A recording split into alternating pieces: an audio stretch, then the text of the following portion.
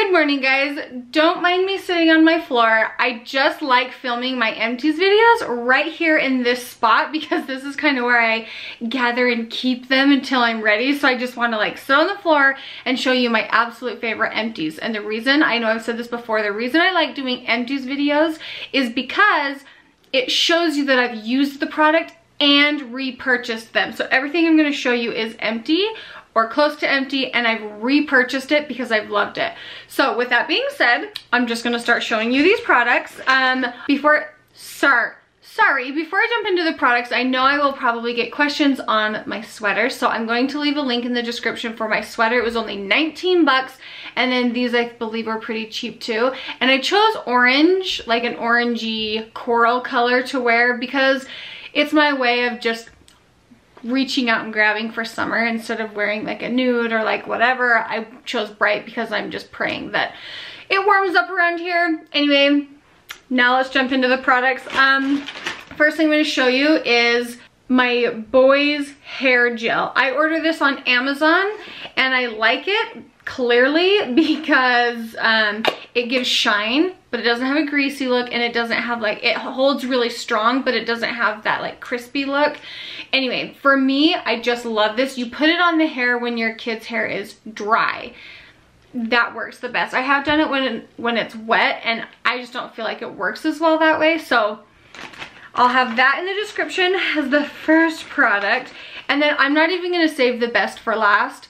This flipping makeup setting spray. It's by Farsali. It is gone and empty. I do feel like it's a little pricey, but it transforms my makeup like no other setting spray has. It's like when I when I use other setting sprays, they do their job and they kind of take the powdery-ish look and it kind of melts the powder and makes it look more skin-like. This makes it look skin-like. And then when I'm done I take a beauty blender which is next and I will like once it's mostly dry very lightly I go in and pat the setting spray because it, it's not that it leaves like blotches but it kind of leaves like little like spritzes. You can see where it like where more has hit somewhere and less. Anyway this just like blends it in and when I'm done I get right up close and I look at my makeup and right underneath my eyes looks better. Just in the crease of my nose looks better. Just everywhere. And it, it brings it accentuates the bronzer which is like gorgeous to me. Anyway this is by this is by far one of my most favorite settings It'll be linked in the description as well. Okay, so now I'll just do the Beauty Blender. This has seen better days. Like, I use a Beauty Blender. Come on, focus on me. I use a Beauty Blender every single day, kind of all day. You get it wet, and then I go in and I blend out my um, foundation. I'll blend it down my neck, and then I'll, with the fat butt part, and then with a pointer, I set my concealer, and I wipe that on my eyelids, dab a little here, dab a little there. And then when and then I'll do the rest of my face and then I'll use my makeup setting spray. Once it's all the way dried, then I'll go back in with my beauty blender and kind of blend it out. Sometimes if I get carried away with my blush, I'll take the butt end of it because it matches the foundation and I'll blend the two. Like I'll like I'll put my blush right here and then this is how I'll blend it kind of in a horseshoe shape right here. If I put too much highlighter on, I'll take the concealer part because that's the color that I used up here and I'll just go in and dab where the concealer or the highlighter got too much. And then during the day or at the end of the day it will have um, dried up a little bit. I will not get it re-wet because when I do that it will take my makeup off it could just be my skin like it could just be a me thing because I know a lot of people will spray it with like a setting spray or something and then go in and touch up ruins my makeup every time. So I just leave it as is and I'll I'm gonna get in and show you what I do underneath my eyes because this is where I always have to do it. I'll kind of stretch the skin because the makeup sets right in here. And I bet I even have some like set right now. Yeah I kind of do. So you I'll take it and I'll just softly go in just right there. See, that's like how I'll touch up with it. And then makeup always creases like in here. I'll touch up here and then like right here on those lines. I'll touch up there. So I use this bad boy morning, noon, night. I mean, I don't touch up that often, but if I needed to, I'm just saying I use a beauty blender all the time. I will put in the description um, an off-brand version of this. Lots and lots of brands have a version of a beauty blender. This is the original beauty blender. I've tried all of them and this one is the best. Other ones are good and they work well, but none of them have quite the same density as this one. Either they're too dense or they're not dense enough. I've tried them. I personally don't love them as much. So this is my favorite. I'll put it in the description. I'll also put a link to um to a cheaper one for you. Um, I get asked a lot what eyelashes I use. Clearly these are empty. Uh, these are the Ardell Wispies, not the Demi Wispies. I, I actually loathe Demi Wispies. And sometimes I've made an order and they've sent me the wrong ones and I want to lose my mind. So I don't have false lashes on right now. Um, these are basically the only ones I'll wear because they have, I mean, I like other ones, different occasions, fine, but on a day-to-day -day basis, even sometimes when I'm like really dressing up, these ones are just my favorite.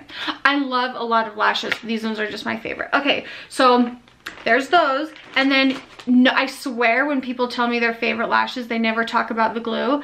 Um, not because it's the same brand as those, because I've used the Duo glue.